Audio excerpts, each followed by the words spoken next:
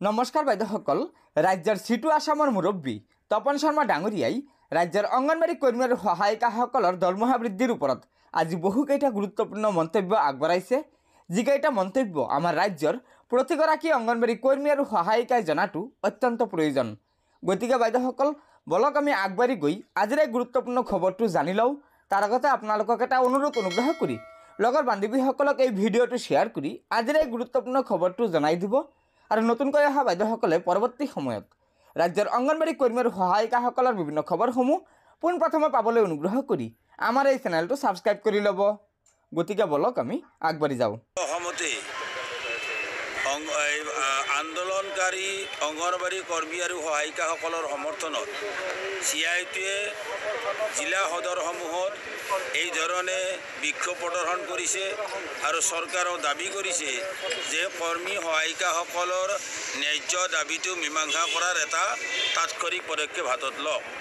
আপোনালোকৰ জ্ঞাতাৰ্থে আমি জনাবলৈ বিচাৰিছোঁ যে যোৱা ছাব্বিছ তাৰিখৰ পৰা দিনে নিশাই চচলত গুৱাহাটীৰ যি ধৰ্ণাস্থলী আছে এই চচলত দিনে নিশাই শ শ মহিলাই তাতেই ধৰ্ণা প্ৰদৰ্শন কৰি আছে ধাৰাবাহিকভাৱে। আৰু তেওঁলোকৰ এটাই দাবী সেইটো হৈছে তেওঁলোকৰ বিভাগীয় সঞ্চালকে তেওঁলোকৰ দাবী মীমাংসাৰ কাৰণে যি প্ৰস্তাৱ চৰকাৰলৈ প্ৰেৰণ কৰিছিল এই প্ৰস্তাৱ অতি শীঘ্ৰে মানি ল'ব লাগে আৰু আলোচনাৰ মাজেৰে বিষয়টো মীমাংসা কৰিব লাগে। এটা ন্যায়সংগত দাবী লৈ পেলাই মহিলা কৰ্মচাৰীসকলে এই আন্দোলন চলাই আছে। আমাৰ মাননীয় হিমন্ত বিশ্ব শৰ্মা ডাঙৰীয়াই বুকু পিন্ধাই সকলোকে ক'ব বিচাৰে যে এই আন্দোলনমুক্ত অসম অসমত বোলে আন্দোলন নাই।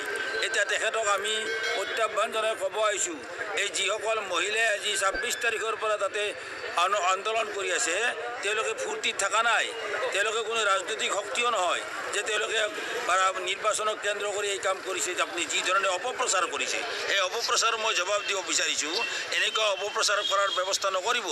আপুনি গৈ নিজে খবৰ কৰক তাতে যাওক যাই সেইসকলৰ লগত কথা পাতক তেওঁলোকে পলিটিক্স কৰিছে নে পেটৰ কাৰণে দাবী উত্থাপন কৰিছে? তেওঁলোকে পলিটিক্স কৰা নাই পেটৰ জীৱন নিৰ্বাহৰ কাৰণে ন্যূনতম সুবিধা বিচাৰিছে। আৰু তেওঁলোককে আপোনালোকে হাতিয়াৰ হিচাপে ব্যৱহাৰ কৰে। এতিয়া ইলেকশ্যন কমিশ্যনৰ দোহাই দি আমি নাজানো এতিয়ালৈকে আমাৰ হাতত পত্ৰ পৰা নাই। ইলেকশ্যন কমিশ্যনৰ দোহাই দি বিভাগীয় একাংশ বিষয়াই এই আন্দোলনকাৰী কৰ্মী সহায়িকাসকলক ভাবুকি দি আছে যে আপোনালোকে যদি ডিউটিত জইন নকৰে ইলেকশ্যন কমিশ্যনে নিৰ্দেশ দিলে আপোনালোকৰ চাকৰি আমি বৰ্খাস্ত কৰিবলৈ বাধ্য হ'ম।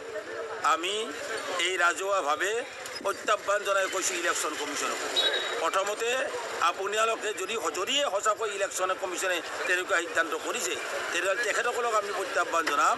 আপোনালোকে প্ৰথমতে এই নিৰীহ নিষ্পেষিত সাধাৰণ মহিলাসকলৰ যি দাবী এই দাবী মীমাংসাৰ প্ৰথমতে ব্যৱস্থা কৰক। কাৰণ এওঁলোকেই আপোনালোকৰ বি এলৰ কাম কৰে। এওঁলোকেই চৰকাৰৰ সকলো আঁচনি ৰূপায়ণৰ কাম সদায় কৰি থাকে। আজিও কৰিব কাইলৈও কৰিব। নিশ্চিতভাৱে কৰিব। কিন্তু প্ৰথমতে তেওঁলোকক জীয়াই থাকিবলৈ দুবেলা দুমুঠি খাবলৈ সামান্য মাননি বৃদ্ধি কৰি দিয়ক। ছয় হাজাৰ পাঁচশ টকাৰ পৰা দহ হাজাৰ টকালৈকে বৃদ্ধি কৰাৰ এটা প্ৰস্তাৱ সঞ্চালকে দিছিল। আৰু সেই প্ৰস্তাৱ আজিলৈকে কাৰ্যকৰী কৰা নাই এই দুৰ্গৰ অন্যায় আৰু এই অন্যায়ৰ প্ৰতিবাদ কৰি সমগ্ৰ অসমতে আজি চি আই টিৰ নেতৃত্বত এই ধৰণে জিলাই জিলাই এই বিক্ষোভ প্ৰদৰ্শন হৈছে। আমিও গুৱাহাটীৰ মেঘদূত ভৱনৰ সন্মুখত এই কাৰ্যসূচী আমি ৰূপায়ণ কৰিছোঁ। গতিকে বাইদেউসকল এয়া নিশ্চয় আমাৰ ৰাজ্যৰ অংগনবাড়ী কৰ্মী সহায়িকাসকলৰ বাবে এটা অত্যন্ত গুৰুত্বপূৰ্ণ খবৰ। সেয়েহে লগৰ বান্ধৱীসকলক এই ভিডিঅ'টো শ্বেয়াৰ কৰি আজিৰ এই গুৰুত্বপূৰ্ণ খবৰটো জনাই দিব। আৰু নতুনকৈ অহা বাইদেউসকলে পৰৱৰ্তী সময়ত ৰাজ্যৰ অংগনবাড়ী কৰ্মী আৰু সহায়িকাসকলৰ বিভিন্ন খবৰসমূহ সম্পূৰ্ণ শুদ্ধ তথ্যৰ ওপৰত পোনপ্ৰথমে পাবলৈ অনুগ্ৰহ কৰি আমাৰ এই চেনেলটো ছাবস্ক্ৰাইব কৰি ল'ব। গতিকে আজিৰ ভিডিঅ'টো ইয়াতে সমাপ্ত কৰিলোঁ। ধন্যবাদ। জয় অসম।